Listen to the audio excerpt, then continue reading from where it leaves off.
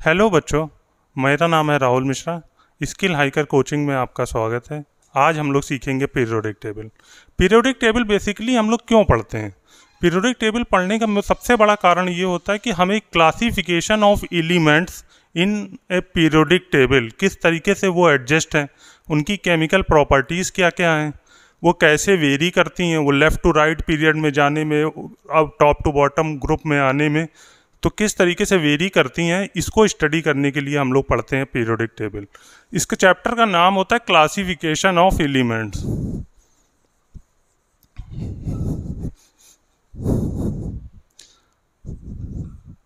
Classification of elements. सबसे पहले आए साइंटिस्ट मैंडलीव उन्होंने बताया कि periodic chemical properties of elements in a periodic table are periodic function of their atomic masses but it is not true then the then the scientist Moseley came in 1913 they told that the chemical properties of elements in a periodic table are periodic function of their atomic weight the curve between the frequency of elements frequency of an element's spectra and and a atomic weight is straight line.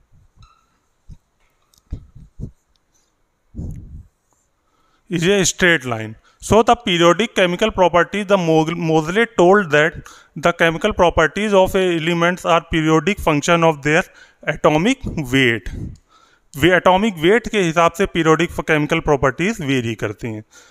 और इसका जो curve होता है frequency और atomic atomic mass number का, वो straight line होता है।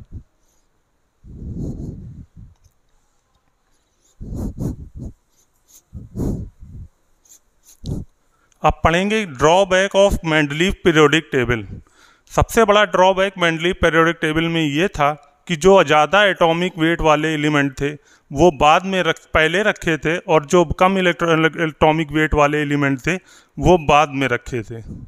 इस वजह से मैंडली पीरियोडिक टेबल फेल हो गई और मोगले की पीरियोडिक टेबल आई। उसमें उन्होंने बताया कि एटॉमिक नंबर के डायरेक्टली प्रोपोर्शनल होते हैं frequency of a characteristic spectra of a X-ray. So the frequency of characteristic X-ray X-ray is directly proportional to atomic number.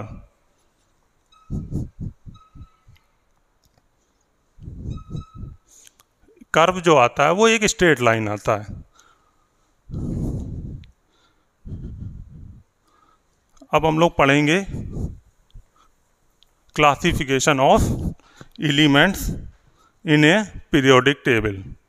Periodic table का पहला ग्रुप होता है हाइड्रोजन ग्रुप उसके मेंबर्स होते हैं hydrogen lithium sodium potassium rubidium caesium francium इसका atomic number होता है वन और इसका इलेक्ट्रॉनिक कॉन्फ़िगरेशन होता है वन एस वन और ये एक हाइड्रोजन जो होता है, ये हाईली इलेक्ट केमिकल रिएक्टिविटी में हाईली पार्ट करता है। हाइड्रोजन का एटॉमिक नंबर वन है तो ये वन एस वन होता है। फिर आता है लिथियम फिर आता है सोडियम फिर आता है पोटेशियम फिर रुबीडियम फिर सीजियम फिर फ्रांसियम इस प्रकार से वेरी करते हैं और इसको इसको बोलते हैं एल्कली मेटल्स एल्कली मेटल्स और इसका, इसको एस ब्लॉक एलिमेंट्स भी बोलते हैं। हाइड्रोज अल्कली मेटल्स एवं एस ब्लॉक एलिमेंट्स दूसरा ग्रुप आता है B E M G C S R B A R A और इसका इलेक्ट्रॉन इलेक्ट्रॉन एटॉमिक नंबर होता है two one S two one S two होता है। तो इसका ये एस ब्लॉक एलिमेंट इसको भी बोलते हैं, क्योंकि इलेक्ट्रॉन का इलेक्ट्रॉनिक कॉन्फ़िगरेशन एस ब्लॉक तक जाता है। फ़र्स्ट ऑर्बिटल में एस ब्लॉक तक जाता है। इस प्रकार से आगे पढ़ते हैं। Carbon family. नहीं, बो, carbon family, boron family. Boron aluminium gallium, ion T L N H इसका एटॉमिक नंबर होता है फाइव और इसका इलेक्ट्रॉनिक कॉन्फ़िगरेशन होता है one H two two H two two P one और इसमें देखिए कि आपने एक चीज़ नोटिस करी होगी कि इसमें इसका इलेक्ट्रॉनिक कॉन्फ़िगरेशन जो है वो पी ऑर्बिटल तक जा रहा है। पी ऑर्बिटल तक जाने की वजह से इसको पी ब्लॉक एलिमेंट्स भी बोलते हैं।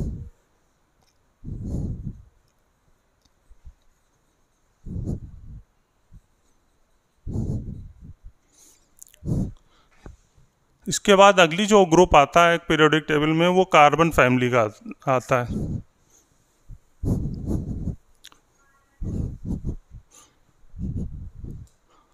Carbon silicon germanium tin lead और एफ़ एल फ्लोरियम इसका एटॉमिक नंबर होता है सिक्स और इसका इलेक्ट्रॉनिक कॉन्फ़िगरेशन होता है one H two two H two two P four two P two one H two two H two two P two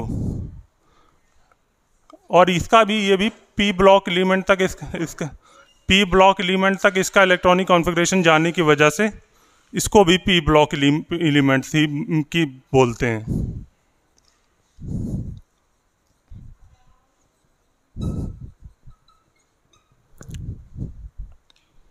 इसके बाद आती है nitrogen family.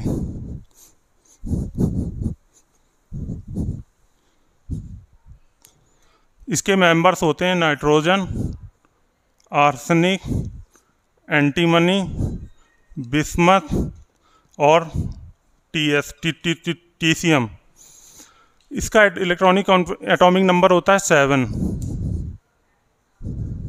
one H two two H two तीन दो पाँच दो सात T two S two two P three.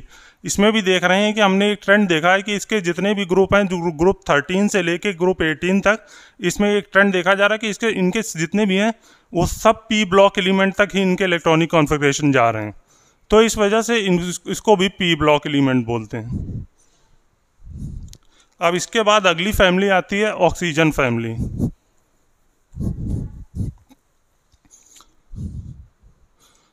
oxygen oxygen, sulphur, selenium, tellurium, polonium और मिकोडियम। ऑक्सीजन को देखिए, ऑक्सीजन के एटॉमिक नंबर होता है एट और इसका इलेक्ट्रॉनिक कॉन्फ़िगरेशन हुआ one H two two H two two P four चार दो छः दो आठ। ये देखिए two H two two P four तक गया। तो इसमें two H two two P four तक गया तो इससे ये भी पता चल रहा है कि ये भी पी ब्लॉक एलिमेंट है। इसी तरीके से फर्दर इसके मेंबर्स का इलेक्ट्रॉनिक कॉन्फ़िगरेशन देखना है तो ये थर्ड सेकंड पीरियड है। तो ये two H two two P four, three H two three P four. इस तरीके से जैसे जैसे पीरियड में ग्रुप में नीचे आएँगे तो पीरियड में जैसे जैसे पीरियड बढ़ेगा तो उसके बाद उसमें उनकी सेल बढ़ेगी तो उसका नंबर बढ़ता जाएगा, उसी प्रकार से फर्दर वो वेरी करेगा। इसके बाद आती है हेलोजन फैमिली। हेलोजन फैमिली में आते हैं। Fluorine, chlorine, bromine, iodine, astatine और टीएस टीजियम फ्लोरीन का एटॉमिक नंबर होता है नाइन। और फ्लोरीन का इलेक्ट्रॉनिक कॉन्फ़िगरेशन होता है one H two two H two two P, पाँच दो सात दो नौ, टू पी फाइव। देखिए, इसका इलेक्ट्रॉनिक कॉन्फ़िगरेशन होता है one H two two H two two P five. Two P five होता है तो इसमें ये हाईली स्टेबल हो, highly electronegative, fluorine is the most electronegative element in a periodic table.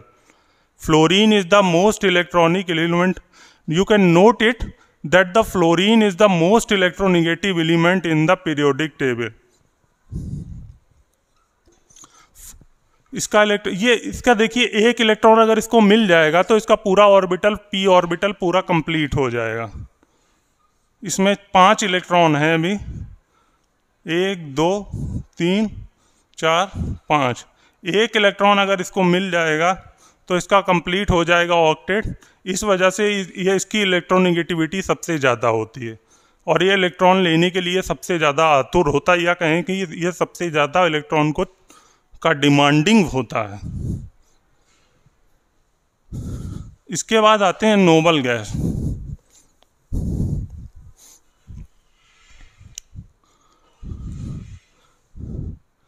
helium neon argon, krypton, xenon, radon और इसके बाद further आता है ओजी ओजीसीएम हीलियम का एटॉमिक नंबर होता है वन, टू। हीलियम का एटॉमिक नंबर होता है टू। देखिए, इसका इलेक्ट्रॉनिक कॉन्फ़िगरेशन हुआ one S two. This is the helium is the most unreactive you can say helium is the most unreactive element in the periodic table because it, it, it has stable electronic configuration and very less octet इसका octet भी छोटा है देखिए one S to है केवल और उसके बाद दो इलेक्ट्रॉन इसके पास ऑलरेडी हैं। तो उसके बाद देखा जाए तो हीलियम वन एस टू के हिसाब से सबसे अनरिएक्टिव एलिमेंट होता है। फर्दर ये देखिए नोबल गैस के इलेक्ट्रॉनिक कॉन्फ़िगरेशन है इसका एटॉमिक नंबर टेन होता है one S two two S two two P six इन ये हीलियम जितने भी नोबल गैसेस हैं, ये हाईली अनरिएक्टिव होते हैं। ये मतलब देखा जाए तो इनका इलेक्ट्रॉनिक ऑक्टेट पी ऑर्बिटल पूरा भरा हुआ होने के कारण ये अनरिएक्टिव होते हैं। फर्दर हम लोग देखेंगे कि properties properties of the elements, like first property is ionization energy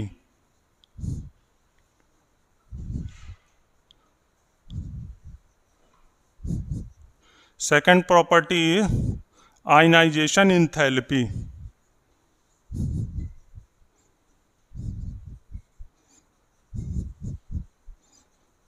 अब देखेंगे बच्चों आयनाइजेशन एनर्जी होती क्या है? आयनाइजेशन एनर्जी बेसिकली ये होती है कि किसी भी एलिमेंट से आउटर मोस्ट ऑर्बिट से इलेक्ट्रॉन को निकालना है। The amount of energy which will be release when we remove an electron from outer most orbit. The amount of energy release when we remove electron in the outer most orbit. So ionization energy is a removal of electron from the solid gaseous atom. The electron is remove the amount of energy release is ionization energy अब बताते हैं ionization enthalpy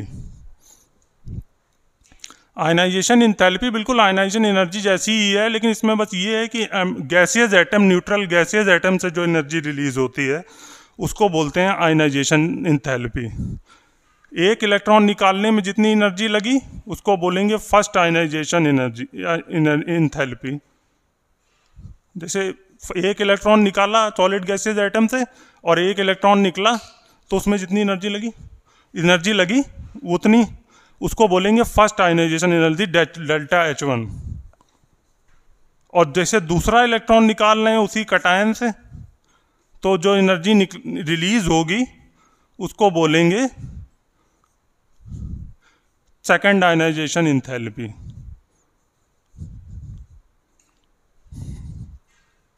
अब इसकी third property है electronegativity electronegativity को अगर ऐसे समझा जाए तो ये तरीके से एक अट्रैक्शन पावर होती है. इलेक्ट्रॉन को किसी प्रकार से मतलब tendency of an element to attract a shared electron tendency of an element to attract a shared electron is electronegativity और ये देखा जाए तो ये पीरियड में टेंडेंसी पीरियड में ये घट बढ़ती है. और और ग्रुप में टॉप टू बॉटम नीचे आने पे घटती है। तो देखा जाए तो फ्लोरीन जो होता है वो मोस्ट इलेक्ट्रोनिगेटिव एलिमेंट होता है, क्योंकि उसका इलेक्ट्रॉनिक कॉन्फ़िगरेशन एक इलेक्ट्रॉन मिलने की वजह से स्टेबल हो जाता है पी ऑर्बिटल उसका भर जाता है, उसका इलेक्ट्रॉनिक कॉन्फ़िगरेशन फ्लोरीन का एटॉमिक नंबर होता है nine one H two two H two two P five पाँच दो सात दो नौ। Two H two two P five अब एक इलेक्ट्रॉन अगर इसको मिल जाएगा तो ये हाईली स्टेबल स्टेट में पहुँच जाएगा। इस वजह से fluorine is the most electronegative element in a periodic table you can note out note it down